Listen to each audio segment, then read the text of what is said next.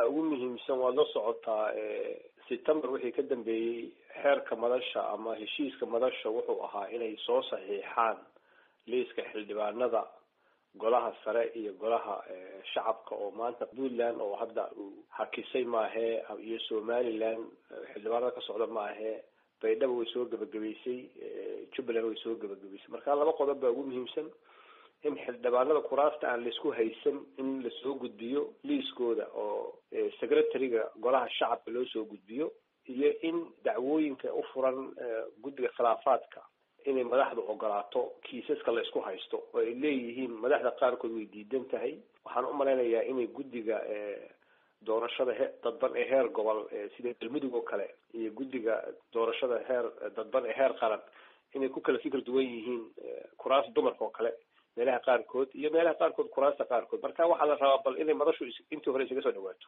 arrinta ee ugu muhiimsan ee hadda la isla dhex marayo waxay tahay doorashadan in aysan gaarin labada kun iyo toddobiyo tobanka. Marka ma kula tahay maalmaha ka dhiman sanadkan in waxyaabahan aada iminka sheegaysa lagu dhamaystiri karo. May lama aha aniga waxa uu ergeyga gaarka ah ambasador kating ayaad waxaad moodaa in ciidihii masiixiga ay soo dhow yihiin marka waxaa jirta arrin ay leeyihiin haddii boqol kiiba siddeetan iyo afar xildhibaan oo golaha shacabkaa la hayo iyo dhowr iyo soddon xildhibaan oo golaha saraa la hayo waa laga suurtagal inay doortaan guddoomiyaha baarlamaanka iyo madaxweynaha. Marka shan iyo tobanka december ayuu ergegu uu arrinta ku riixaya waxaad moodaa hadda shir ka dhacaya inuu ahaa shir ee beesha caalamka gaar ahaan ergega arrimaha soomaaliya uga qaabilsan golaha ammaanka. Inuu isagu fikirkan keenay maadaama ay madashii qaran xubnaha ugu badan ay musharaxiin yihiin qaarna ay kala fikir u kala tegeen xagga siyaasadda. Marka way adag tahay in sanadkan afarta wiiga ka dhiman inay doorasha soomaaliya ka dhacdo. Waa arrin aada u adag. Dhinaca haddaan fiirino puntland oo doorashada hakad gelisay waxa ay doodoodu tahay in xildhibaanada ka imaanaya dhinaca somalilan qayb ahaan lagu soo doorto garowe arrintaas marka suuragal ma noqonaysa ayay kula tahay arrintaas suuragal ma noqonayso. Waxaana u noqonayn maadaama ay markii hore ee puntland ka mid ahayd golaha madasha qaran heshiiskiina ay saxiixday. Haddii loo ogolaado labada xubnood ee la leeyahay waxaa laga siinayaa sanaag iyo sool iyo beelaha laga tiro badan yahay. Xubnahaas golaha sare waxay ka dhici doontaa magaalada muqdisho. Sirna suurtagal kuma aha inay ka dhacdo puntland. Arrin kale oo muhiimadeeda le waxay tahay arrinta aadka u soo noqnoqotay ee ku saabsan musuq maasuqa. Arrintaas marka iyadoo weli aan cidna eed la saaren in la yidhaahdo waa la xalleeyey. Sidee macquul ku noqon kartaa? Arrintan musuq maasuq faarax lama oran karo. Arrinta waxaa la oran karaa fadeexad. Maadaama ra'iisal baarlamaankii wadanka uu kursi golaha sare uu qaatay guddoomiyihii baarlamaanka uu kursi xildhibaan qaatay niman wasiiraha kursi xildhibaana qaateen shaqaalihii xafiiska madaxweynuhu kuraas xildhibaana qaateen heshiiskii ay madashu saxiixday ee ahayd dumarka oo laga tegay marka arrinta markay noqonayso dastuur qoran iyo maxkamad ma hayno.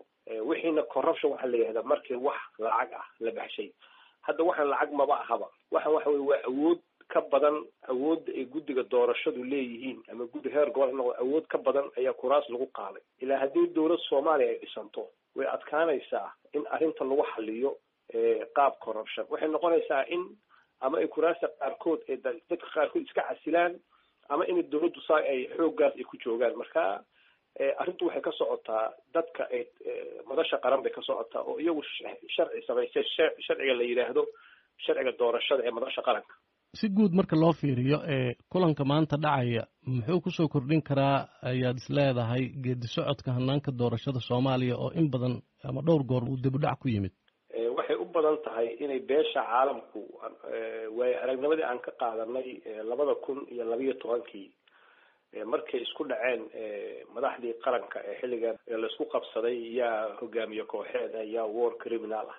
Hadda haddii la isku qabsado kuraasta wadanka oo ah yaa kursigaa helay iyo beeshaasaa heshay iyo kan waxay noqonaysaa inay beesha caalamku jadwal u dejiso shirka dhacayana iyagaa keenay. Marka hadday soomaalidu aanay xal la iman inta sanadkan ka dhiman waxay keenaysaa inay jadwal cusub ay la timaado beesha caalamka iyo dowladaha soomaaliya ee ka kaalmeeya xagga militariga xagga dhaqaalaha gaar ahaan waddamada reer galbeedka ee siyaasadda africa gacanta ku haya